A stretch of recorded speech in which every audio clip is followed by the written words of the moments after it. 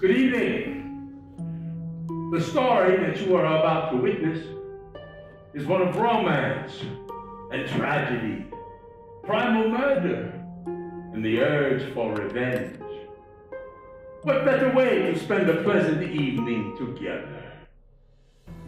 From the beginning, it was an odyssey of deception and trickery. One minute I could see the light like a beam of a train engine hurtling past. The next minute, all was darkness. And the thread that I pulled, it came away in my fingers and it led to nothing.